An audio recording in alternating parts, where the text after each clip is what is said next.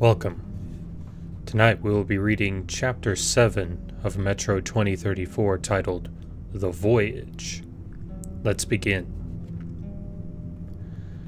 Chapter 7 The Voyage. As the trolley passed through the long section of tunnel marked with bright yellow paint on the floor and walls, the helmsman couldn't pretend any longer not to hear the radiation dosimeter clicking faster and faster. He took hold of the brake and muttered apologetically, Comrade Colonel, we can't go any further without permission. Let's go just another hundred meters, Denis suggested gently. Turning to face him, I'll release you from watch duty for a week afterwards as a hazard bonus. But this is the extreme limit, Comrade Colonel, the helmsman whined, still not daring to reduce speed. Stop. Hunter ordered. We'll walk on from here. He's quite right, the radiation level is really getting too high. The brake block squealed, the lantern hanging from the frame swayed, and the trolley came to a halt. The brigadier and the old man, who were sitting with their legs dangling over the edge, climbed down onto the tracks. The heavy protective suits, made of lead impregnated fabric, looked like deep sea diver outfits.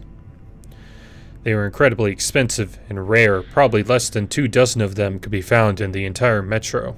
The two at Sebastopol had almost never been used, they'd just been waiting for their time to come. These suits of armor could absorb the fiercest radiation, but they turned even simple walking into a difficult task. At least, they did for Homer. Denis left the trolley and walked on with them for a few minutes, swapping phrases with Hunter, snatches of speeches that were deliberately clipped and crumpled, so that Homer couldn't unfold and interpret them. Where will you get them? he asked the Brigadier gruffly. They'll give me them. They won't have any choice, Hunter boomed, looking straight ahead. Everyone stopped expecting you back ages ago. For them, you're dead. Dead, you understand? Hunter stopped for a moment and spoke in a low voice as if he were talking to himself, not the perimeter commander. If only it was all that simple. And desertion from the Order, that means a fate worse than death. Without answering, the Brigadier swung his hand up, simultaneously saluting the Colonel and lopping off an invisible anchor cable. Denis took the hint and stayed behind on the dockside, while the Brigadier and the old man moved slowly away from the shore as if they were fighting a reverse current, and set off on their great voyage across the seas of darkness. The colonel lowered his hand from his temple and signaled to the helmsman to start the engine. He felt desolate, left with no one to issue ultimatums to, and no one to wage battle against.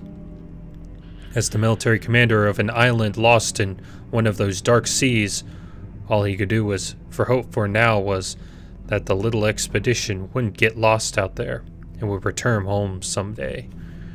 From the other side, proving in its own small way that the world really was round, the final guard post, located in the stretch of tunnel immediately after Kakovska, had been almost deserted.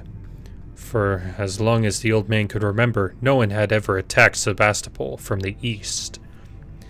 Now the patch of yellow seemed less like a marker, dividing the endless concrete intestine into arbitrary sections, than a cosmic lift connecting two planets that were hundreds of light years apart. Beyond it, the inhabitable space of Earth was imperceptibly replaced by a dead lunar landscape, and the apparent resemblance between them was a deception. As he focused on setting one foot in front of the other, in his incredibly heavy boots and listened to his own strenuous breathing penned into a complex system of fluted tubes and filters. Homer imagined he was an astronaut who had landed on a satellite of some distant star. Indulging in this puerile fantasy made it easier for him to adjust to the weight of his suit. He could explain that by the high gravity, as well as the fact that they would be the only living creatures in the tunnels for kilometers ahead. All the scientists and science fiction writers never got their forecast of the future right, thought the old man. By the year 2034, the human race should have been master of half the galaxy, or at least the solar system, for a long time already. Homer had been promised that when he was a child, but the science fiction writers and the scientists had both started from their premise that humanity was rational and consistent, as if it didn't consist of several billions of lazy, frivolous individuals who were easily distracted, but was some kind of beehive endowed with collective reason and a unified will. As if, when it set about conquering space, it had really intended to take the task seriously and not abandon it halfway when the game got boring, turning its attention to electronics and then moving on to biotechnology, without ever achieving any really impressive results in anything, except perhaps for nuclear physics. So here he was, a wingless astronaut, a non viable life form without his cumbersome protective suit, an alien on his own planet, exploring and conquering the tunnels from Kakova to Kashira, and he and all the other survivors could simply forget about anything more ambitious than that. It was strange. Here, beyond the yellow market, his body groaned under the 50% increase in the force of gravity, but his soul was soaring, weightless. The day before, when he said goodbye to Elena before the expedition to Tula, he was still counting on coming back, but when Hunter named Homer again, choosing him as his partner for the second time in a row. The old man had realized there was no way he could weasel out of it. His insistent prayers to be tested and enlightened had finally been heard, and trying to back out now would be stupid and unmanly. He couldn't treat his life's work as a part time job. It was pointless to play coy with destiny, promising to devote himself to his work wholeheartedly a bit later on the next time around. There might not be any next time. If he didn't set his mind to it now, what would he carry on living for afterwards? To end his days as the unknown Nikolai Ivanovich, a local crackpot, a drooling old storyteller with an erratic smile. But to make the transition from a grotesque caricature of Homer to the genuine article, from an obsessive fanatist to a marker of myths you rise out of the ashes renewed. First, he would have to cremate his former self. He realized that if he had carried on doubting and started pandering to his yearning for a home and a woman, if he constantly looked back, he was certain to miss something very important up ahead.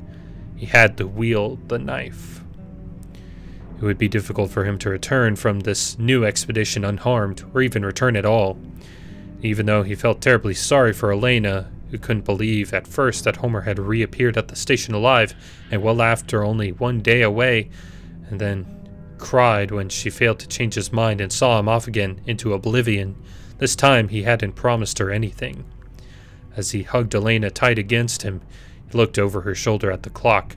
He had to go. Homer knew it wasn't easy to amputate more than ten years of life just like that. He was bound to suffer phantom pains after the loss. He had expected to feel the urge to look round all the time, but once he stepped beyond the thick yellow boundary marker, it was as if he had really died, and his soul had soared free, breaking out of both its ponderous, unwieldy physical shells. He had escaped. Hunter didn't seem to be hampered at all by his protective suit. The loose clothing bulked out his muscular, wolfish figure, transforming it into an amorphous colossus but without reducing its agility. He walked along side by side with the panting old man, but only because he was still keeping a close eye on him after Nakhimov Prospect, after what Homer had seen at Nagatino, Nagornaya, and Tula, agreeing to carry on roaming the tunnels with Homer. Hunter hadn't been an easy decision, but he had found a way to convince himself the long awaited metamorphosis heralding his rebirth had begun while he was with the Brigadier. It didn't matter why Hunter had dragged him along again to set the old man on the right path or to use him for spare rations. The most important thing for Homer now was not to let this new condition slip away, to exploit it while he still could, to invent things and write them down. And another thing. When Hunter asked him to come, Homer seemed to sense the Brigadier needed him in almost exactly the same way, not in order to guide him through the tunnels and warn him about dangers. Perhaps in nourishing the old man's energies, the Brigadier was also taking something from Homer without asking permission. But what could he possibly need? Hunter's apparent lack of emotion could no longer deceive the old man. Under the crust of that paralyzed face, magma was seething, occasionally splashing out through the craters of those smoldering eyes that didn't close. He was in turmoil. He was searching for something, too. Hunter seemed to fit the role of the future's book's epic hero. Homer had hesitated for a while and then, after the first few trials, accepted him. But there were many things about the Brigadier's character, such as his passion for killing living things, the words he left unspoken, and his miserly gestures that made the old man wary. Hunter was like those killers who taunted and provoked the police detectives, wanting to be unmasked. Homer didn't know if Hunter saw him as a confessor or a biographer or an organ donor but he sensed that this strange relationship of dependence was developing into something mutual, growing stronger than fear. And Homer was haunted by the feeling that Hunter was putting off a very important conversation.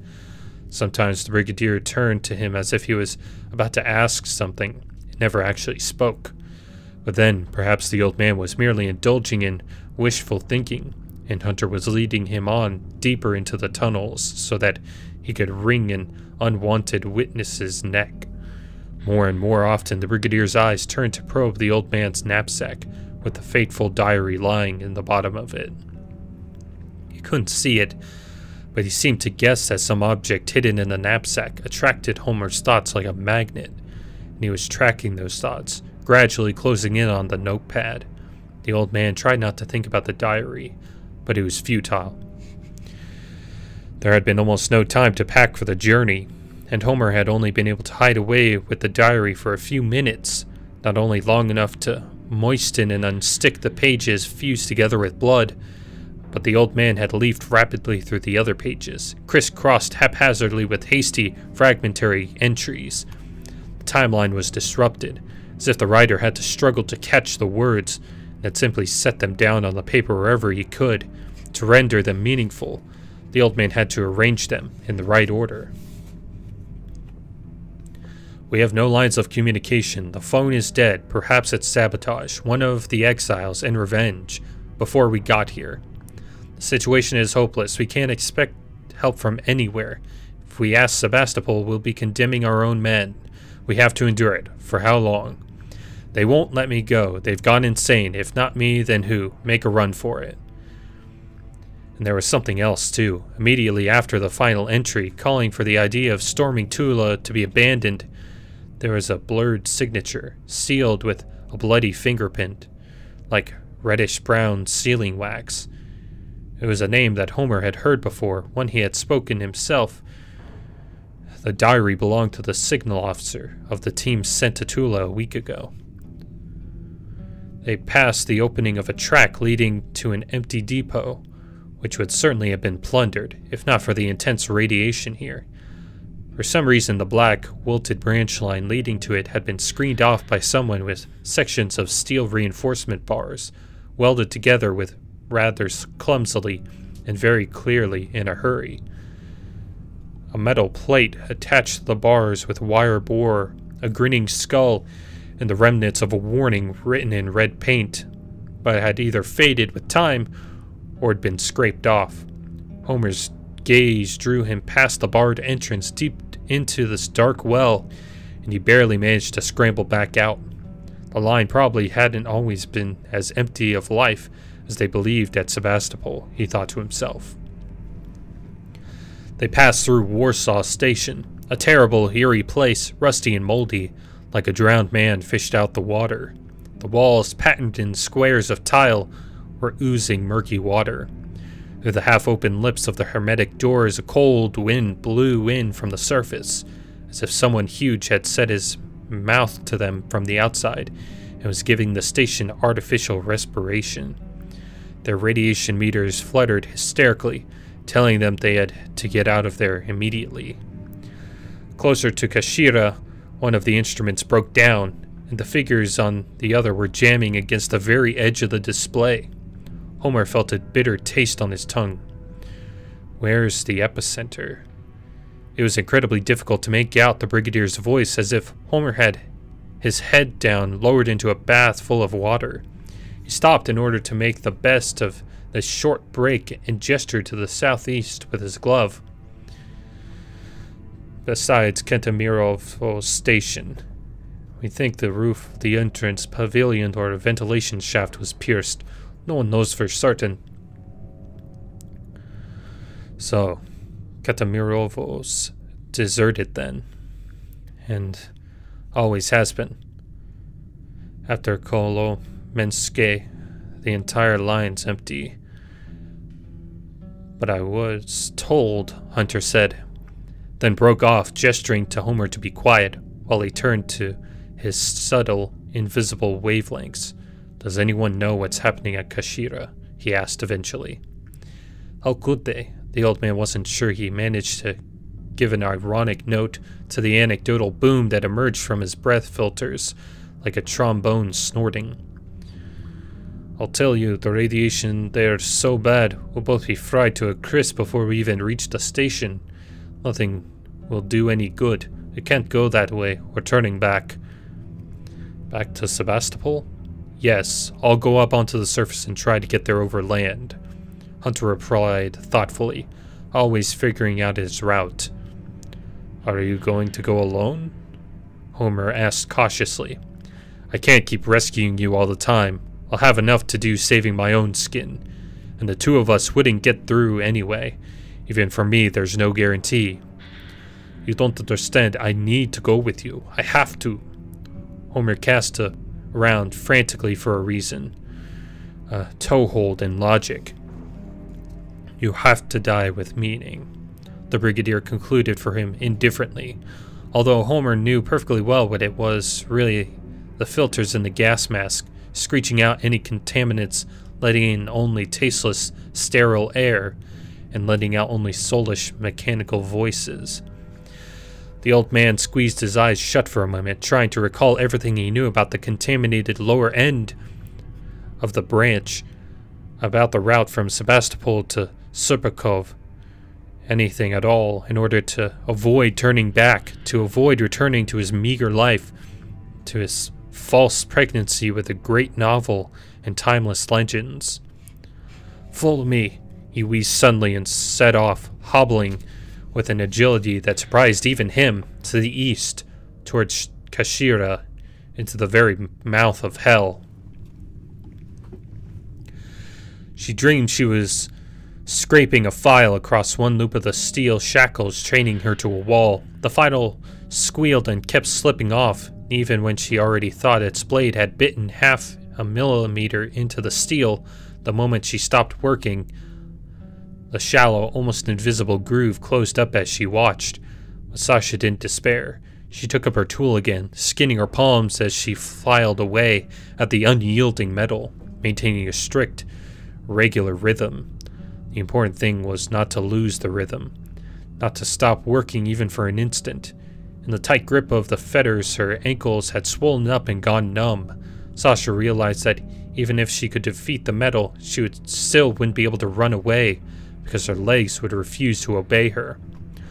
Sasha woke up and raised her eyelids with a struggle. The shackles had not been a mere dream. Her wrists were restrained by handcuffs. She was lying on the dirty floor of an old mining trolley that squealed with excruciating monotony as it crept slowly along.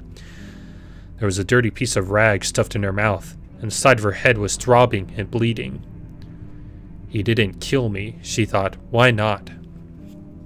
From where she was lying, all she could do was see a small section of the ceiling, the welded joints of the tunnel liners drifting by in an irregular patch of light.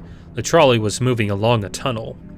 While she tried to get her shackled hands out from behind her back, the liners were replaced by flaking white paint. That alarmed Sasha. What station was this? It was a bad place, not just quiet, but desolate, not just deserted, but lifeless. and completely dark. For some reason, she had thought every station on the other side of the bridge was full of people, and the air everywhere was filled with their shouting and hubbub. So she must have been wrong about that. The ceiling above Sasha stopped moving. Grunting and swearing, her kidnapper clambered down onto the platform and strolled about with his metal tipped heels scraping, as if he was studying the surroundings. Then, obviously having removed his gas mask, he growled in a deep, amiable sounding voice. So here we are then, after all these years. Releasing all the air out of his lungs in a long, lingering sigh, he hit out hard at some bulky, inanimate object. No, he kicked it with his boot.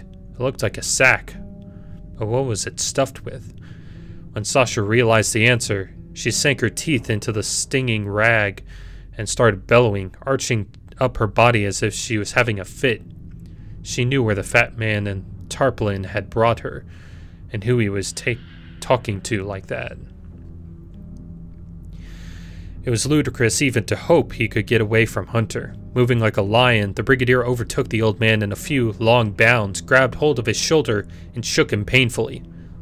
What's wrong with you?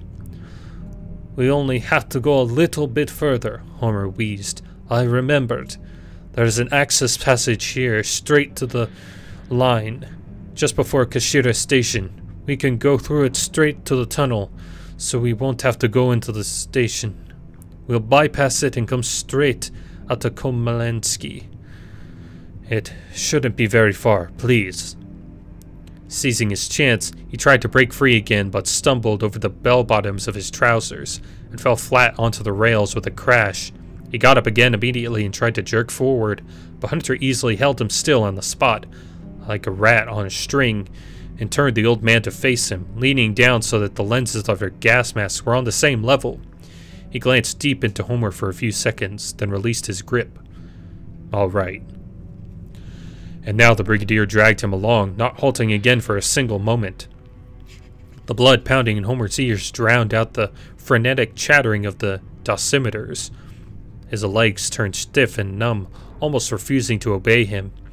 His lungs were straining so hard they smarted painfully, and felt as if they were about to burst.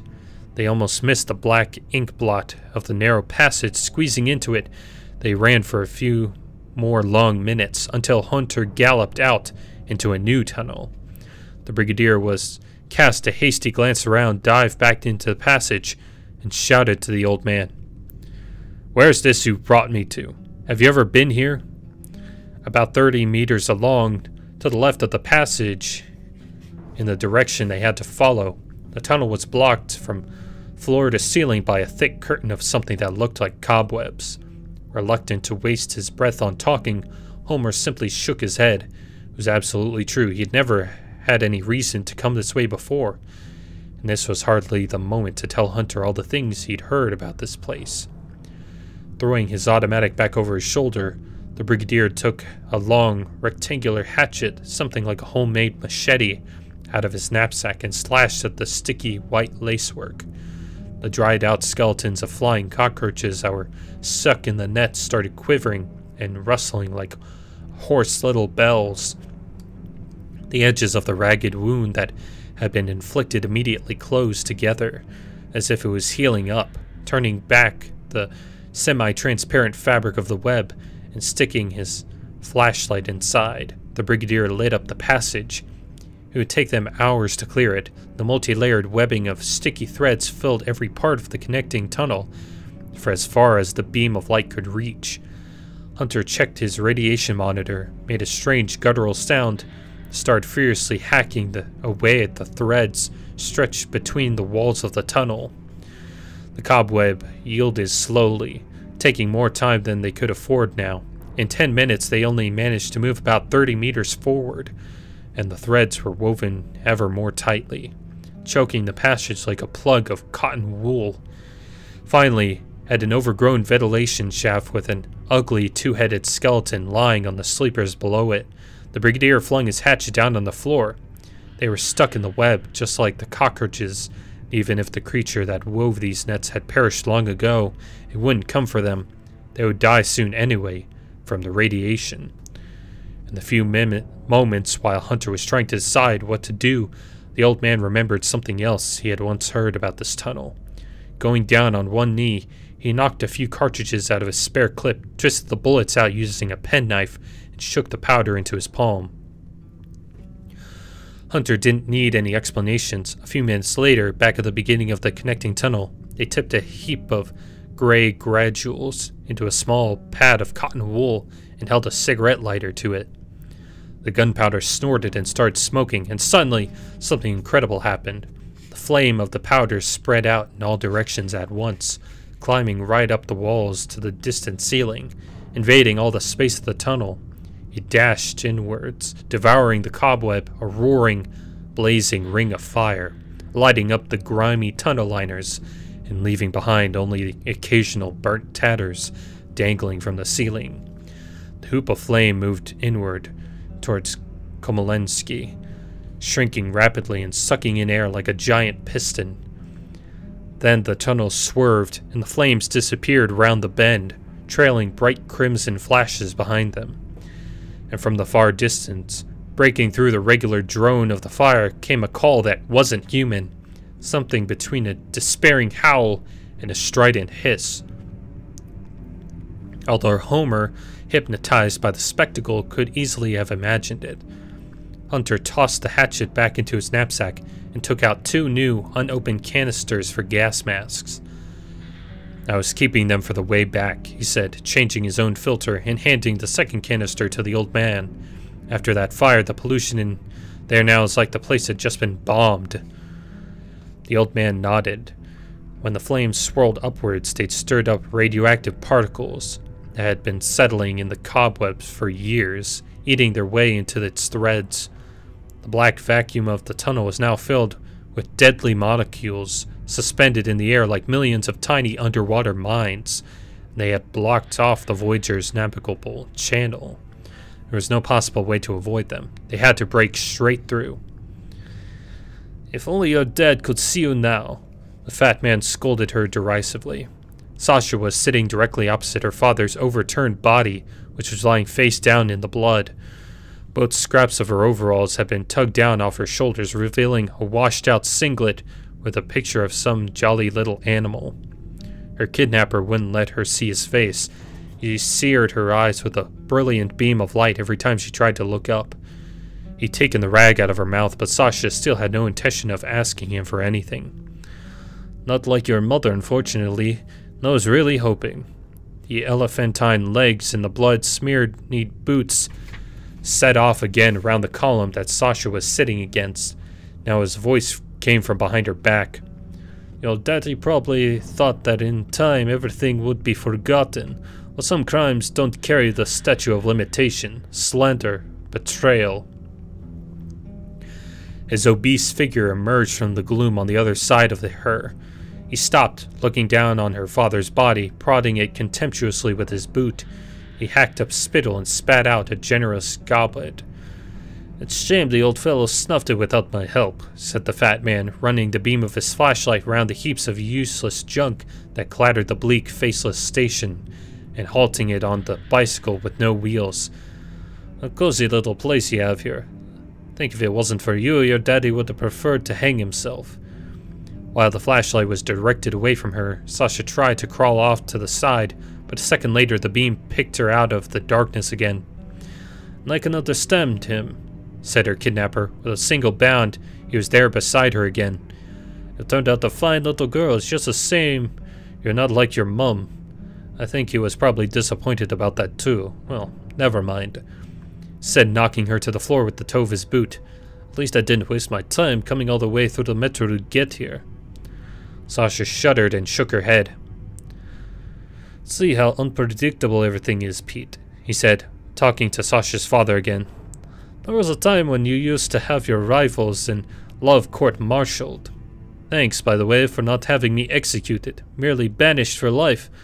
But life is long and circumstances change and not always to your advantage. I've come back, even if it has taken me ten years longer than I planned. It's never an accident when someone goes back somewhere, Sasha whispered, whispering her father's word. How very true that is, the fat man jeered. And who's there? At the far end of the platform, something bulky and ponderous rustled and fell. Then there was a kind of hissing sound and the stealthy footsteps of a large animal. When silence fell again, it was a false silence, frayed and tattered, like her kidnapper. Sasha could sense something moving toward them out the tunnel.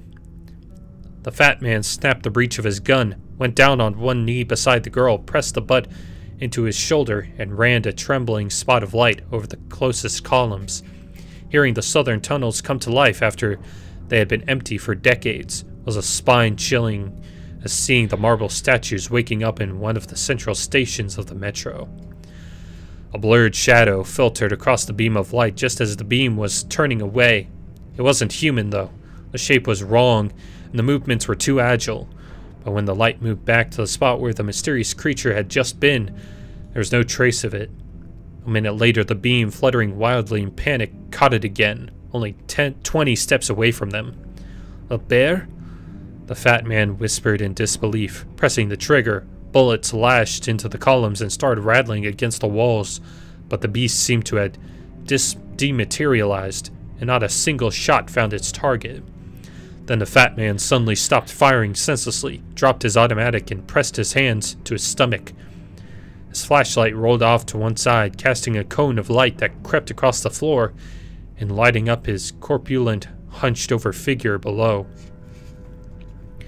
The man stepped unhurriedly out of the gloom, walking with incredibly soft, almost soundless steps in his heavy boots, in a protective suit that was too large even for a giant like him. He really could have been taken for a bear. He wasn't wearing a gas mask. His scar, furrowed face, and shaven head looked like a scorched desert.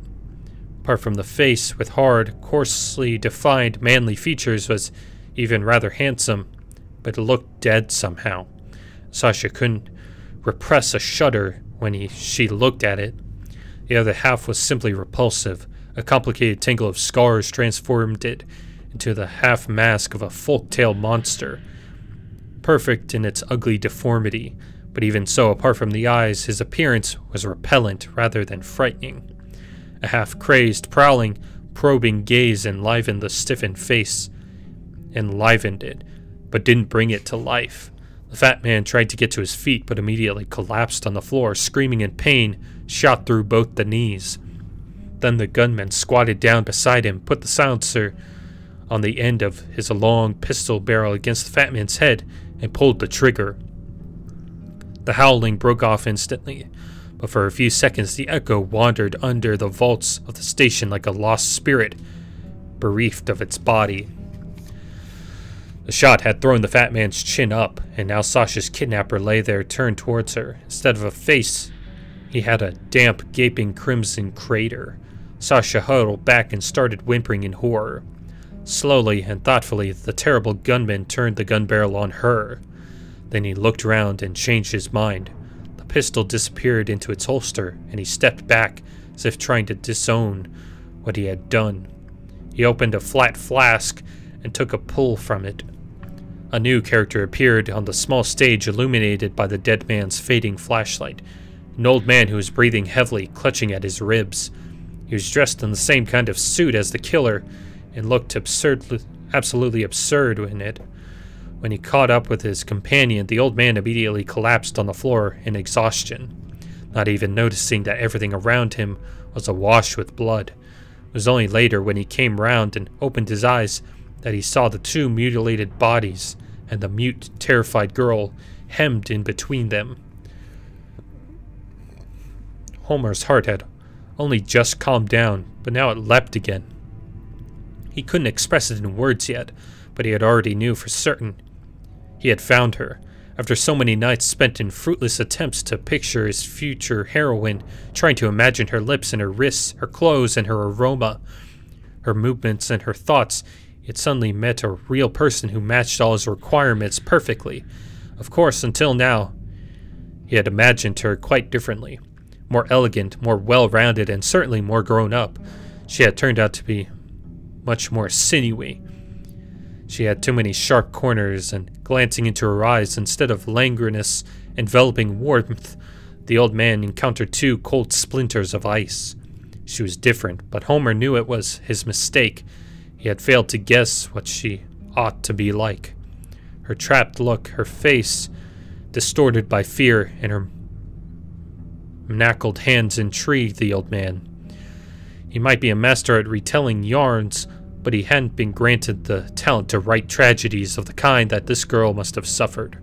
Her helplessness and hopelessness. Shit.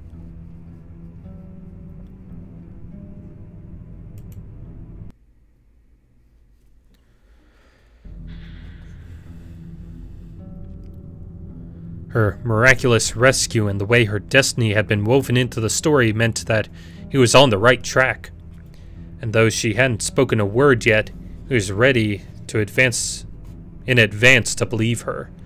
For after all, apart from everything else, this teenage girl with her white, tousled, carelessly lopped hair, pointed little ears, soot smeared cheeks, and exposed, sculpted collarbones, surprisingly white and vulnerable, with her childishly plump, bitten lower lip was beautiful in a very special way.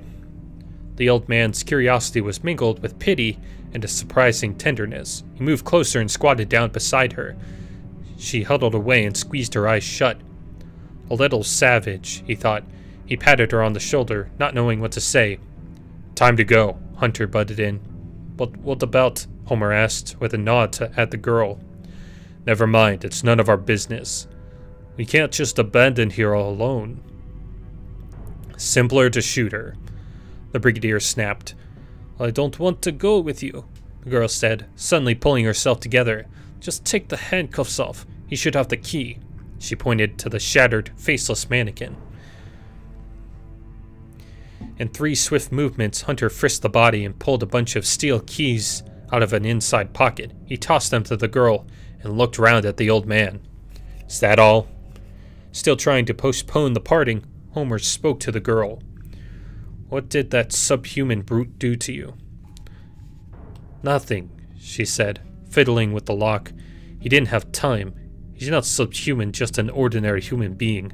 Cruel, stupid, spiteful, like all of them.